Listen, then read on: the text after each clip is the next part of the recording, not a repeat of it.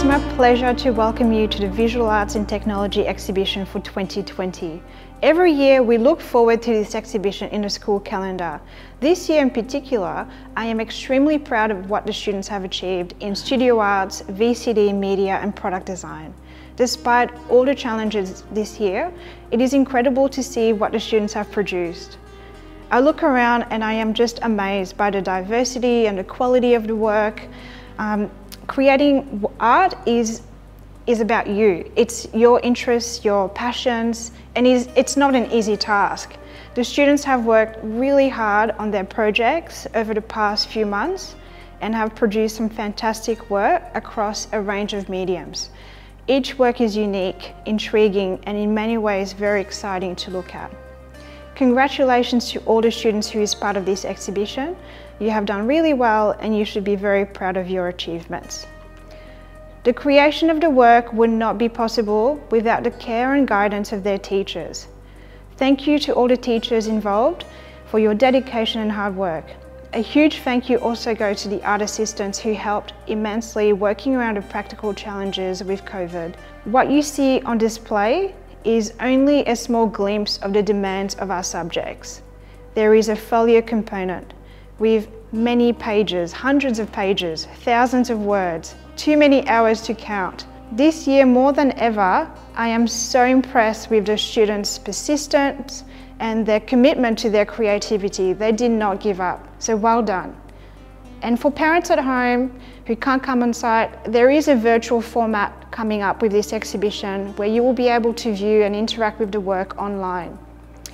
This year, our guest speaker is a past student, Jared Pasela, who was selected in Top Arts in 2018. Hello, my name is Jared Basala, and I'm a 2018 graduate of Hillcrest Christian College, a former student of VCE Studio Arts, and also a successful candidate of the 2019 Top Arts exhibition held by the National Gallery of Victoria. First of all, I would like to extend my welcome to you to this year's VCE Art and Technology exhibition opening night. It is an honour and pleasure to be able to be the guest speaker for this exhibition. As a previous student of VCE Studio Arts, I experienced firsthand the strenuous effort necessary to plan and produce quality works. I vividly remember how difficult the journey was from the beginning of the year where I was discovering conceptual possibilities I could undertake for my finished piece, to the end of the year with my fully developed portfolio and artworks.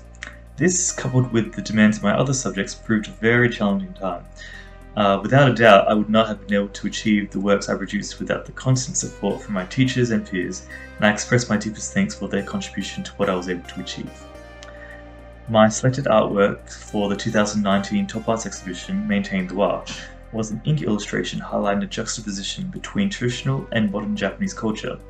From the first steps of my portfolio with collecting um, photographs and noting sources of inspiration to the creation of my final work, I gradually refined my techniques in the watercolor and ink mediums, and deepened my understanding of the importance of culture and traditions. These days, I'm a second year Bachelor of Biomedical Science student at Deakin University, with next year being my final year of the degree. I am continuing to develop my art skills and have also gained a recent interest in digital mediums of art, in combination with my well accustomed ink illustrations. With the global pandemic and all the hardships across the world, this year has definitely not been the most pleasant introduction to a new decade.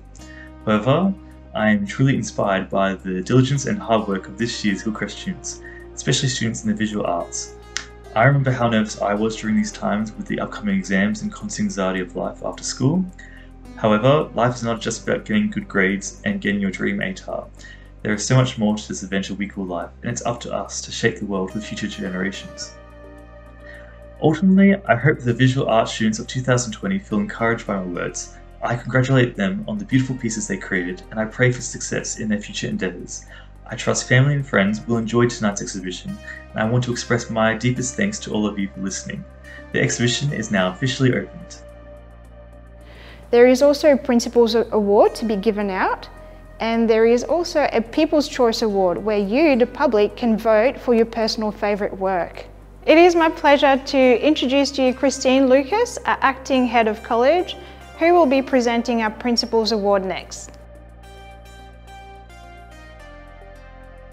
Hi everyone, I'm Christine Lucas. I'm acting head of college at Hillcrest Christian College and I've got the honour today of looking at the art uh, for in the uh, Hillcrest Art Exhibition and choosing one piece of art to give a Principals Award to and it's a really tough job because the art in this exhibition is outstanding and I've spent a long time this morning going around looking at the art, reading your explanations behind your pieces, and it's uh, very moving uh, and it's very humbling to think that we've got young people at our college who are so talented and who have persisted in this really challenging year to produce really meaningful pieces of art. It's, it's just fantastic and can I encourage anyone to come and look online at, at the art that, uh, that is on show. It's just brilliant. So I'm going to just walk around uh, some of the pieces that really stood out for me, but it's all amazing and all worth looking at.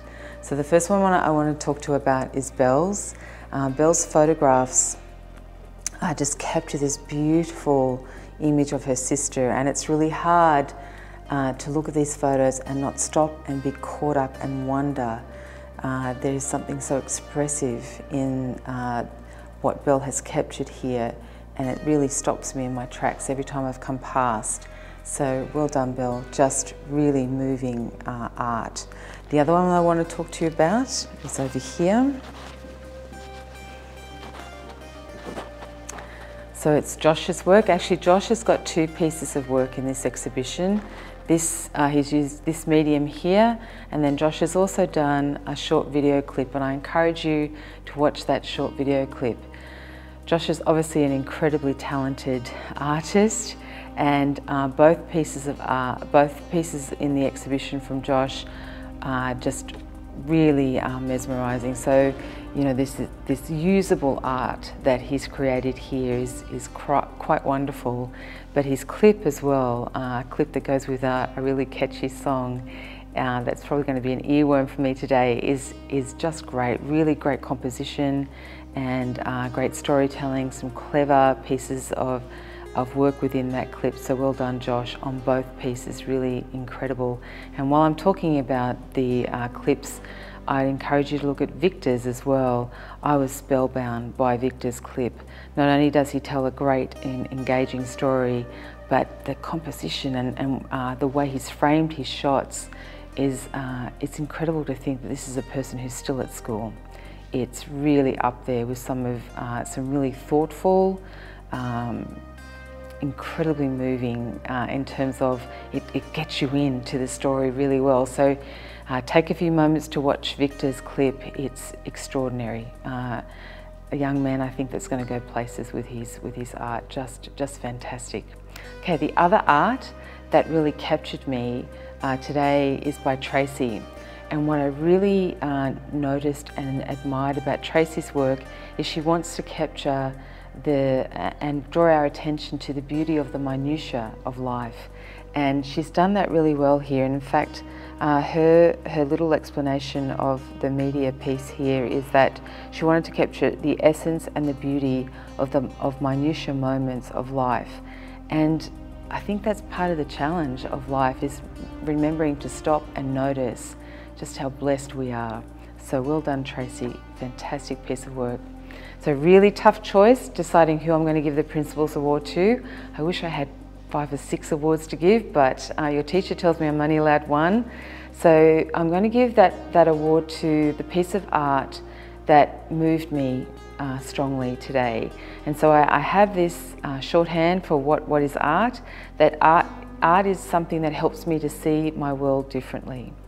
And the artwork that Lily has created really did that for me today.